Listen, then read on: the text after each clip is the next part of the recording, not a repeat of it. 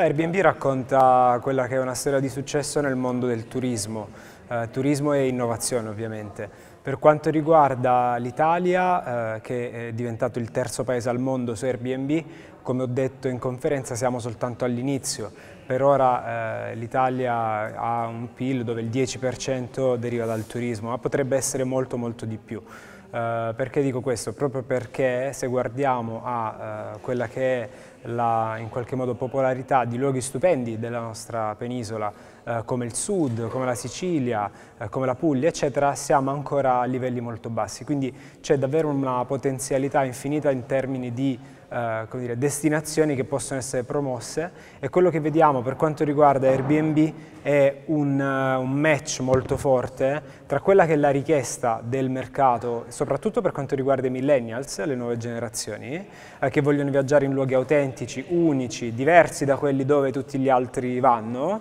eh, e quella che è il nostro paese, perché il nostro paese è proprio fatto, è molto frammentato, è fatto di questi luoghi unici, speciali, particolari, che spesso insomma eh, prima non si potevano magari visitare facilmente. Grazie ad Airbnb oggi si può dormire anche in luoghi dove non ci sono hotel, e probabilmente non ce ne saranno, perché non ha senso magari aprire un hotel, si può dormire in piccoli borghi, si può dormire in eh, luoghi stupendi del sud, eh, abbiamo eh, proprio da poco eh, lanciato per esempio un progetto legato a Civita di Bagnoreggio eh, dove stiamo lavorando per renderlo insomma, patrimonio dell'UNESCO e, e, questo per esempio è proprio un, uno di quei luoghi che potrebbe in qualche modo eh, vivere di turismo, lo fa già in maniera sostenibile senza necessità magari di avere strutture ricettive eh, costruite apposta proprio perché è un luogo così speciale e unico. Beh, portano tantissima innovazione e tantissimo cambiamento, ovviamente preoccupano da un lato, si parla tantissimo di intelligenza artificiale,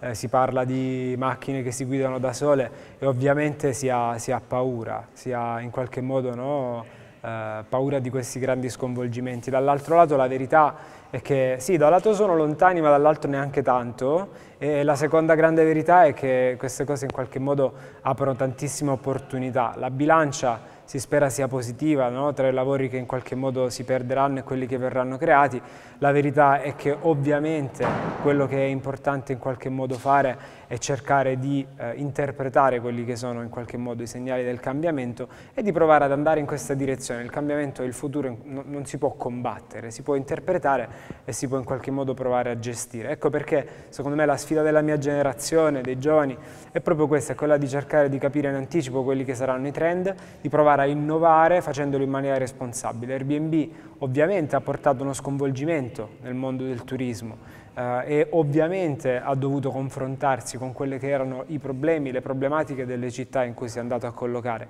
Eh, la nostra, credo, insomma, caratteristica che forse anche ci distingue magari anche un pochino eh, da, da, da altri è quella di essere stati sempre molto responsabili e aperti a dialogare, di andare a bussare alle porte degli amministratori locali prima che loro venissero a bussare alle nostre. Quindi eh, l'idea è di essere dire, presenti, responsabili e di voler risolvere il problema, di voler risolvere quelli che sono i cambiamenti dettati dalla tecnologia e crediamo insomma, che questo possa essere anche un po' un esempio uh, di come si possa gestire questo cambiamento e queste opportunità che vengono a crearsi. Sono persone un po' come me, io sono laureato in lettere, eh, ho voluto all'inizio, insomma, appena finita la mia carriera universitaria, eh, volevo lanciare una mia azienda e, l'ho fatto, era insomma, un e-commerce internet. Eh, ho viaggiato in diversi luoghi, adesso sto, sto, sto, lavorando qui in Italia, ma sto studiando in Svizzera eh, perché sto finendo un MBA eh, ho lavorato in Germania, poi sono andato a lavorare in Danimarca.